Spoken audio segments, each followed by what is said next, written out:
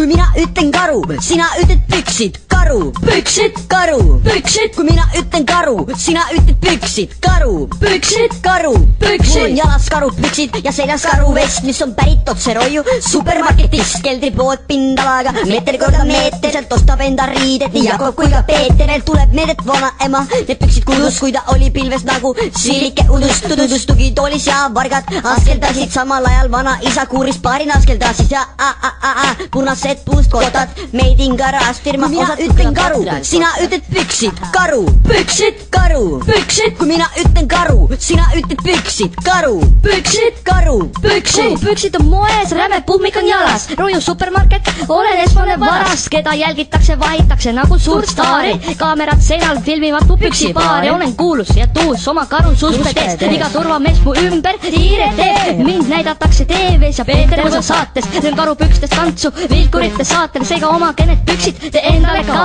küll näete peagi, te olete ega staar. kui mina ütlen karu, sina ütled püksid, karu, püksid, karu, püksid, kui mina ütlen karu, sina ütled püksid, karu, püksid, karu, püksid, karu, karu, karu, karu, karu, püksid, kui mina ütlen karu, sina ütled püksid, karu, püksid, karu, püksid, kui mina ütlen karu, sina ütled püksid, karu, püksid, karu, püksid. sul on juba karupüksid või.